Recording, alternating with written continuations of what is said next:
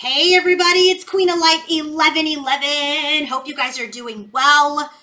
I mean, this reading, I am just like. I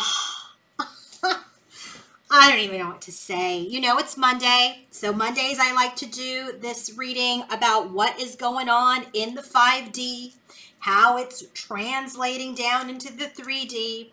And I'll tell you, this moon energy, seriously, like the full moon, you know, the new moon, the full moon, all these moons that happened in April um, have just created this major, major shift and shadow work that was getting done. I mean, that Scorpio full moon was no joke, no joke at a soul level, and then how it really, really affected those of you who are just very much um, working actively on your journey. I really feel like that that it just impacted those of you the most. Those of you who have been on this journey for a while, really, really working hard at your healing and detachment and surrender.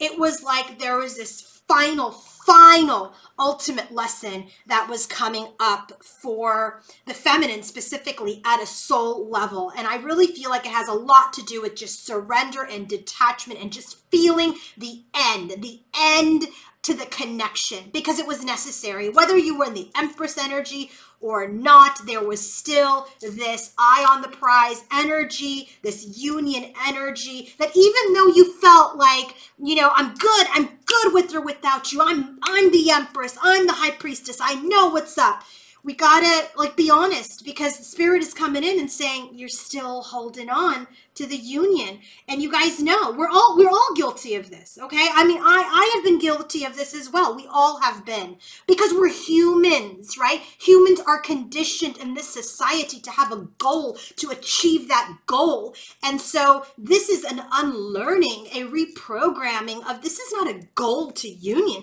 This is a goal of finding the love of yourself okay? You are your own union. So when you're like working on that working on that and you really are hoping to have this union with the masculine right but you're still on this path spirit saying no get back in your lane get back in your lane your lane is to the union of you. And so I really felt like it was this final, final detachment and surrender through whatever shadow or truth was exposed in the connection that really ended things for feminine. But it's beautiful. It was like this poetic justice, poetic justice, this beautiful, painful end to really, truly realize just how whole she already is. Okay? So, if you want to book your own personal reading, coaching session, or healing session with me, go to queenoflight1111.com. Let's start with the bottoms of the deck for the 5D energy. And look at here Luna, the moon, clarified by the Seven of Pentacles. Now, what I always say to Spirit is, Spirit, in the 5D, if I get cups, that is 5D energy. Pentacles are energies that I know things are grounding in the earth. And boom, Spirit at the bottom of the deck says, what does they say? What does he say? What does Spirit say at the bottom of the deck? We don't want to tell you too much. Seven of Pentacles, Luna. This is hidden energy. This is the keeper of the secrets, the keeper of knowledge, the keeper of intuition. Okay. So, specifically in this deck, I love using this deck. My poor little Buddha falls all the time. I'm so sorry. So, Luna, when Luna comes out in this deck, this is all about the energy of the divine. This is all about this energy of intuition. Okay. Are we in our intuition? Are we in our illusion? What are we in? So, Luna, okay, the moon, is very, very curious, right? We are very, very curious, but there are things in the shadows, there are things that are hidden that are really not for us to see at this time.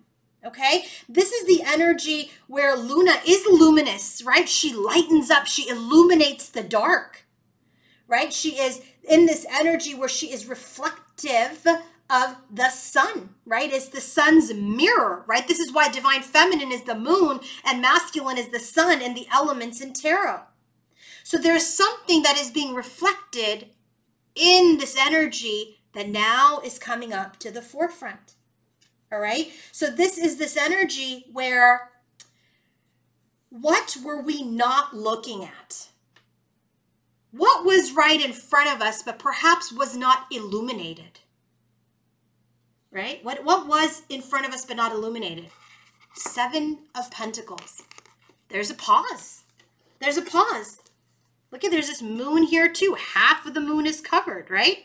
Just a very little is illuminated. This is what Spirit is telling us about the bottom of the deck is that they don't want to tell you too much about what's going to happen here in the 3D because then you'll be right back into the energy they just literally slapped you out of.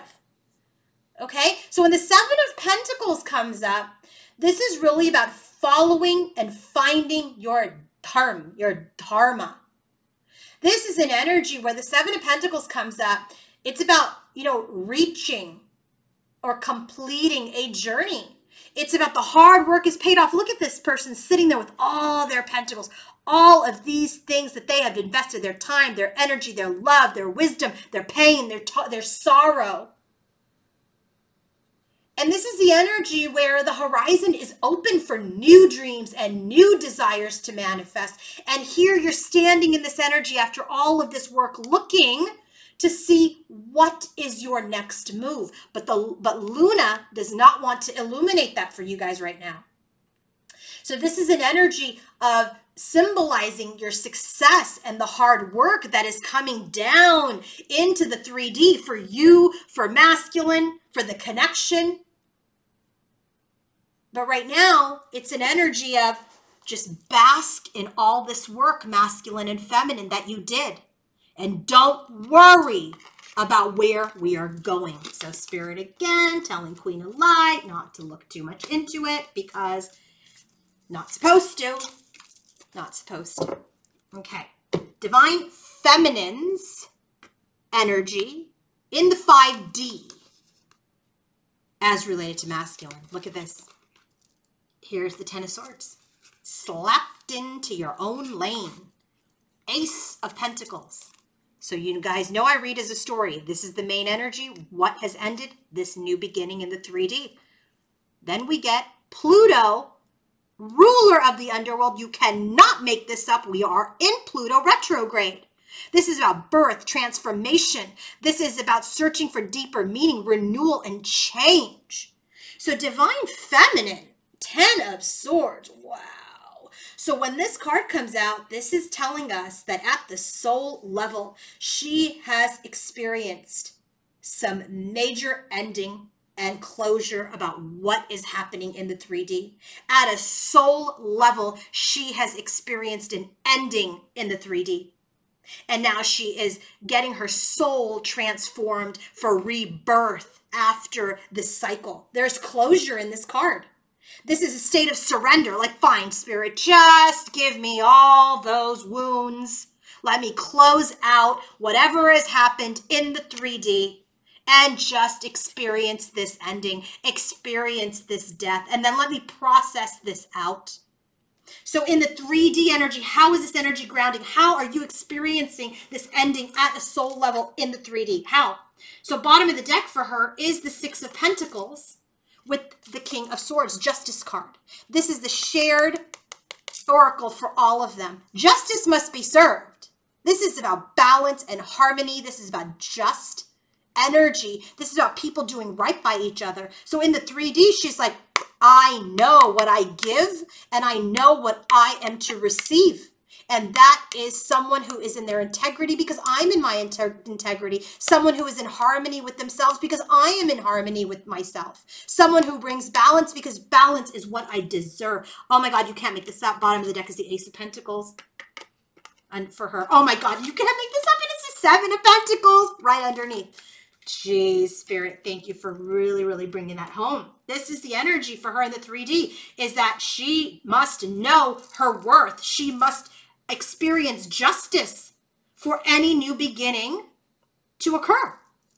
Seven of Pentacles was the bottom of the deck. Ace of Pentacles is her ending in the 3D.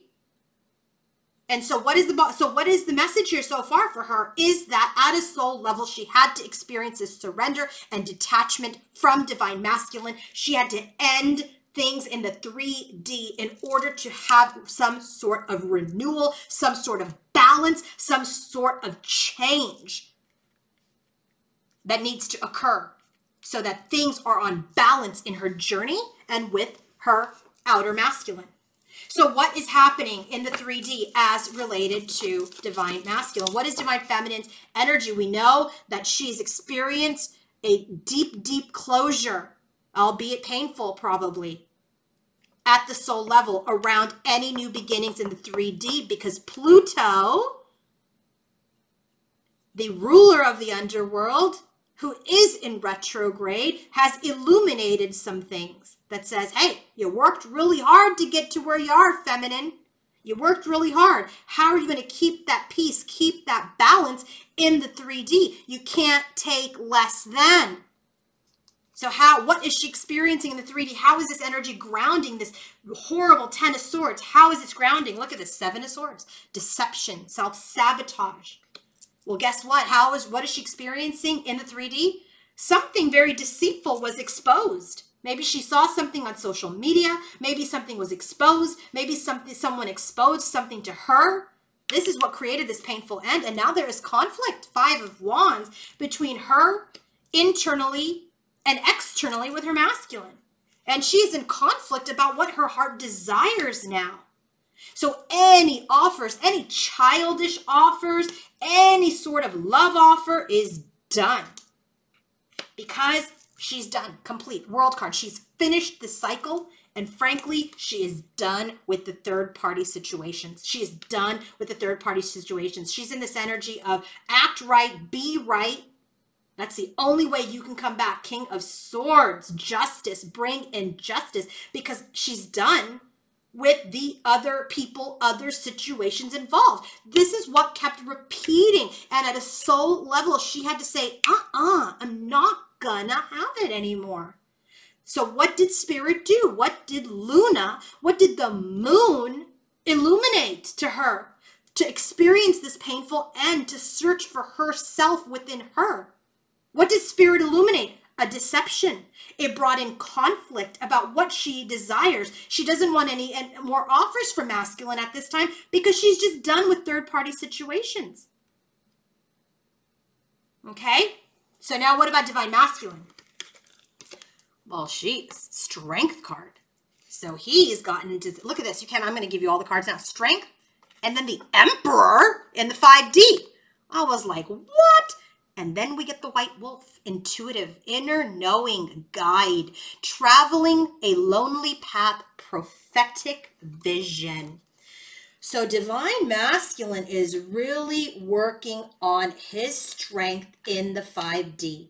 Okay, when the strength card comes out, this is the energy of working on your inner strength, your outer strength, it's also this energy of working on your ego, taming the beast. Right? How is this beast of his passion and his ego dominating him? This is the energy of mastery, compassion, self awareness, understanding, respect, and courage. In the 5D, he is working on his ego, he is working on his strength. Because here's the thing ego, this perceived ego, is really not strength. It is it is an energy of inferiority. You feel inferior. You lack self-esteem. That's why you're trying to show your ego. So in his 5D, he's working on his personal power to be divine masculine, to stand tall. And he knows that he must travel a lonely path at this time away from feminine in order to be, look at this, you can't make this up, the sun and the moon, in order to balance out his own inner masculine and inner feminine. He will not be ready for divine feminine unless he embraces his divine masculinity. Because all he'll end up doing is abandoning him his true self and when he abandons his true self he abandons his twin. And every time he abandons his twin he chooses someone else and she's like i'm done with that storyline. And she had to do it. She had to go through this depth so that he can grow and she can grow. Because every time you let him in and a third party surfaces and you forgive him he will love you more, want you more, but you will love him less. You will want him less. And that is detachment too. That is how Spirit said she's not getting it. Divine Feminine's not getting it. She's not getting it.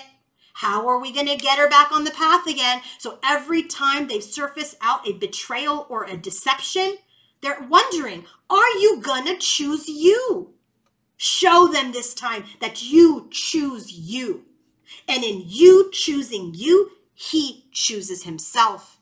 And when you choose you, you choose your counterpart. And when he chooses himself, he chooses his counterpart because that is sovereign self. Okay? Hope that made sense. So now, what is Divine Masculine's bottom of the deck? Nine of Wands and the Justice card. Just out of curiosity. Oh my God, look at him. Look at him. Queen of Pentacles, which is coming up for him with the Eight of Wands. He is really, really wanting to ground this energy. He's wanting to ground this energy. He's not giving up. So in his 3D energy, what's going on? He's wounded. He's wounded. This is an energy of someone who's really gone through a battle, right? She's like Ten of Swords. I'm surrendering this crap. This hurts, and I'm completing this journey, and boom, I'm done. I choose me. And he's just like, oh my God. Nine of Wands. I need a minute. I need a minute to get my strength together. Look it up. Nine of Wands. It's about perseverance. It's about taking a minute to regain your strength to fight forward, to move forward. So in his 3D energy towards Divine Feminine, he's like, I need a minute trying to get my strength up here in the 5D to be this master, to be this man in integrity. So how is this translating for him in the 3D? Well, Six of Cups. He understands. Why? Because he's in his intuitive energy. He understands that there's a soul connection here with his Queen of Pentacles, Queen of Earth. Remember that card. We just got the Queen of Pentacles right underneath the Nine of Wands. So he wants this reunion. Sun card, he's going through a rebirth. He's, look at Luna at the bottom of the deck, the sun in 3D. He is rebirthing himself. And that's where he's stuck right now. He's stuck in this rebirth. He's it's not stuck in it, sorry. It's like he's in the cocoon, getting ready to transform into this emperor energy to come forward to feminine. So he is in the hanged man's energy. He's releasing crap. He's releasing behavior in order to be born as the emperor.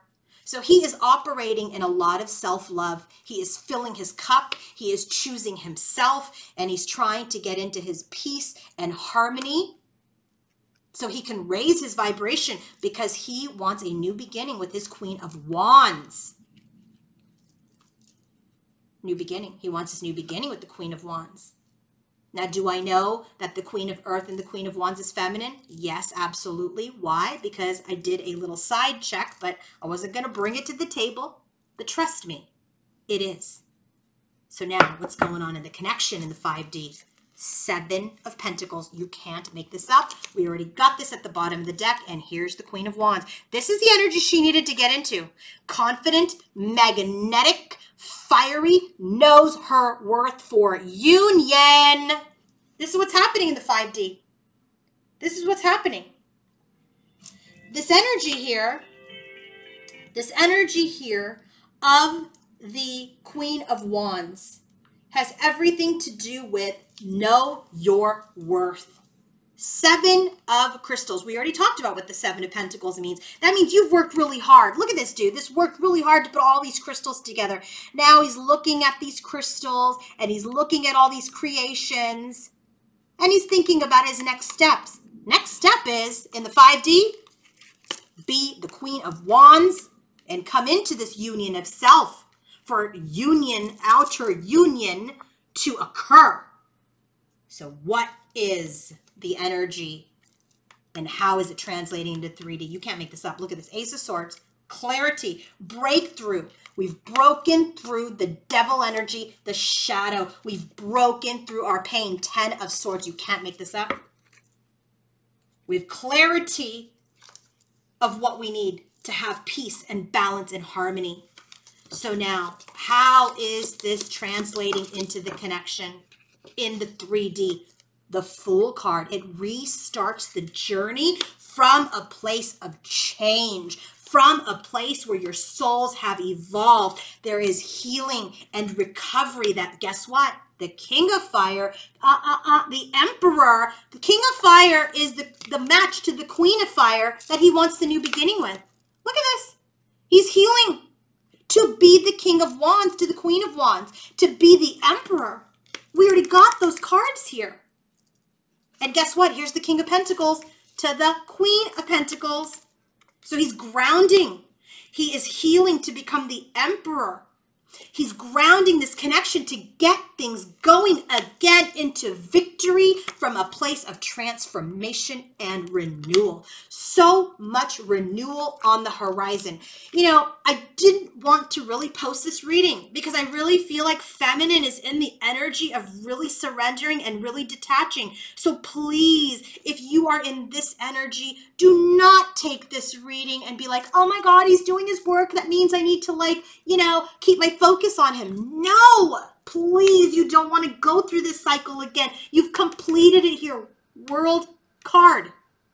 You've completed it. Ten of Swords, done. Focus on you. Invest in you. Be confident. Be magnetic for your own union of self. Take your eye off of this guy. That should be a quote. Take your eye off this guy. Take your eye off this guy. The, put the focus on you. It's very, very important to stand in your power, to fill your cup, because that's what he's doing. He's filling his cup. He's making himself happy because he knows he needs to grow. You do the same. Seven of swords, five of wands, ten of swords, tornado. There's a lot of pain that the feminine is cycling out. Learn the lesson.